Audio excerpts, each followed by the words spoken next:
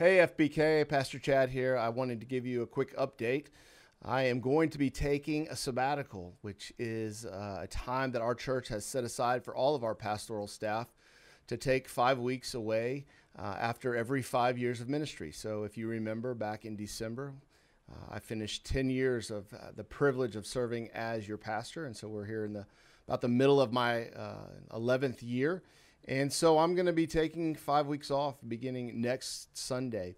And I'm going to be spending some time resting. I'm going to be spending some time reading. I'm going to be visiting some churches that are doing some of the things that um, that we need to learn from in terms of planting churches and revitalizing churches. And so I'll be spending some time visiting with pastors uh, around the nation who are leading in those areas.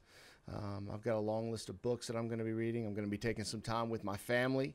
As many of you know, uh, one of the things about ministry is that oftentimes it takes you away from your family at uh, weird and odd times. And so I've got some things planned with my kids uh, to spend some intentional time with them.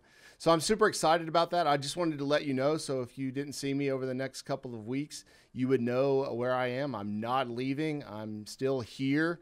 Uh, still, you know, am your pastor, committed to you guys, love you guys, serving you guys. Uh, we're going to have some fantastic uh, other staff members jump in and preach while I'm gone. Patrick and David and Joe and others are going to be filling the pulpit over at Sugar Creek. And uh, we're going to be launching a sermon series in Philippians. And so I can't wait to get back and jump back into that, but they'll do a fantastic job while I'm gone. One of the things, as I mentioned, that I'm going to be doing while I'm away is visiting with pastors because when I get back, I am super excited about where we're headed as a church. And this fall, we're going to be sharing some exciting announcements uh, about what God's doing and about where we believe He wants us to go as a church moving forward.